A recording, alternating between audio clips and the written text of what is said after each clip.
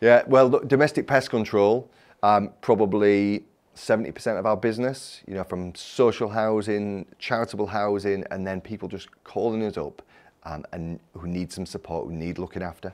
It's a funny one because it's someone's home, you know, they want to feel safe, they want to feel secure, and you've got to get it right. And sometimes we make mistakes, but we learn and we tweak and we make it better. But we follow a, a methodology really. It's called our search methodology.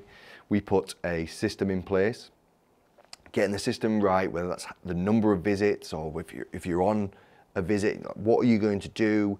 Um, and we've done these things you know, thousands and thousands of times. We want to educate our client, making sure that they understand what's going on, making sure they understand what we've done when we're on site and providing preventative measures after we've left. We want to remain accountable, you know, but that works both ways. You know, we want to work with our clients, we want to work with, with residents and tenants. We want to make sure that we get a resolution and, and that uh, the problem doesn't come back. We want to be able to manage and mitigate risk, and that can be you know, the, a risk assessment, a formal risk assessment, but it can also be the risk of confusion. You know, we want to make things very clear and very, um, I suppose, easy to understand. Then we look at control measures, um, whether that's the products we use, the systems that we uh, put into a property, um, whether that's the systems we, you know, we learn and develop. It's really, really important that we provide the best possible control measures.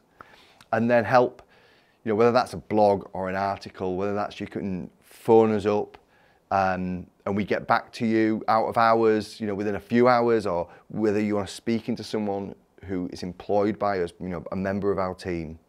I think it goes a long way, you know, and, and I want people to be protected. I want people to feel safe in their homes. I want, you know, landlords to be looking after their, their tenants.